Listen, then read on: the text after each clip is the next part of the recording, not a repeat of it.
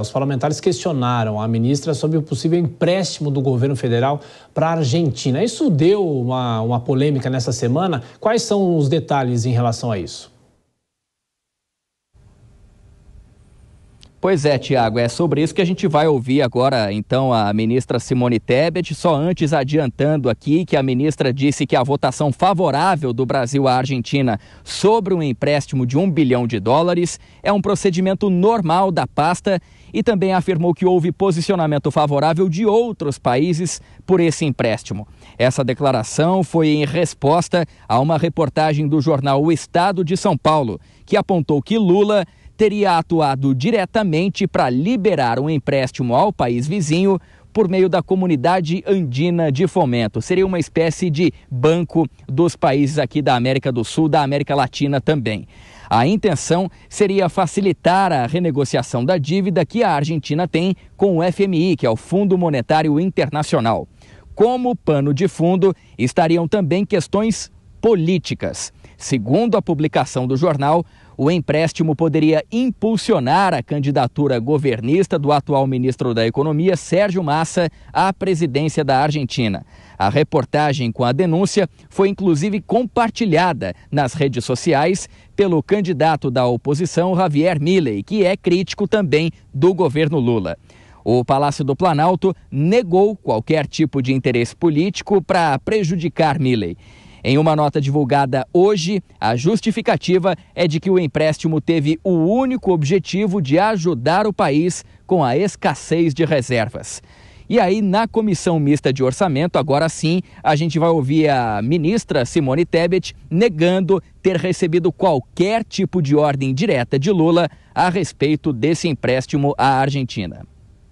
Não é que eu não fui consultada, eu que não consultei o presidente Lula. O presidente Lula não me ligou, não entrou em contato comigo, porque é natural, eu sou governadora desses bancos e eu simplesmente voto num banco que não é brasileiro, cujo dinheiro não é do Brasil. Houve uma seguinte demanda: precisamos emprestar por 10 dias e 10 dias apenas um bilhão de reais para a Argentina. 21, apenas 10 dias. 21 países vão votar minha secretária, por minha determinação, foi autorizada a votar favoravelmente, como 20 dos 21 países votaram favoravelmente.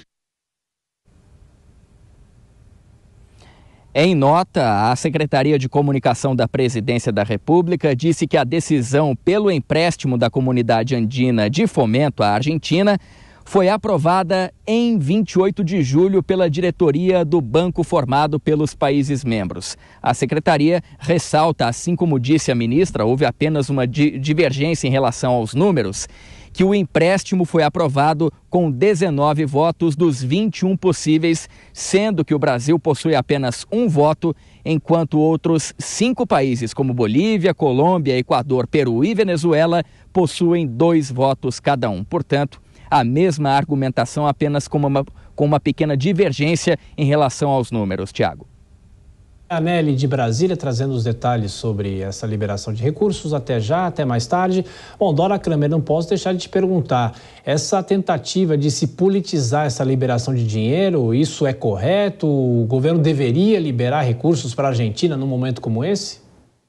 Olha, eu acho que está um pouquinho forçada essa história, porque, primeiro, que é isso, o Brasil não é o único, embora o Brasil tenha maior, tem um poder de influência grande, porque ele tem 37% de participação nesse banco, tá certo? E o presidente Lula, quando o Alberto Fernandes, presidente da Argentina, veio aqui, ele foi explícito. O Alberto Fernandes saiu de mãos vazias, mas ele prometeu ajudar a Argentina. E nessa votação, só o Peru, que tem dois votos, é, que se posicionou contra. Agora, é claro que isso acaba se prestando a, uma, a esse pano de fundo político, porque todo mundo sabe que o presidente Lula é favorável ao candidato do governo, o Massa, né? Então, é claro que aí o Milley aproveita, mas eu acho que foi uma forçação de barra. Como disse a ministra Tebet, não é dinheiro do Brasil, né? É onde, e, e, não é só o Brasil que determinou essa, esse empréstimo, foi uma votação. É, o Kobayashi, a situação da Argentina é dramática, né? mas cabe ao Brasil e outros países darem esse tipo de ajuda nesse momento político também tão complicado? É, ajuda para outro país de generosidade são só aquelas ajudas humanitárias. Né? Nesse caso, como é dinheiro sendo emprestado de um banco que o Brasil faz parte, tem que ser uma ajuda com um propósito propósito de desenvolver a economia argentina para isso servir também nas parcerias econômicas com o Brasil. Se tiver, se tiver esta finalidade, aí sim é interessante para o Brasil participar disso e, nesse caso, é, com uma votação, não é uma decisão que parte só da ministra Simone Tebet ou por influência do presidente Lula. É claro que isso é uma decisão colegiada e que, portanto, diminui a participação do Brasil nesse empréstimo votado no banco, que a Simone Tebet tem um direito a voto.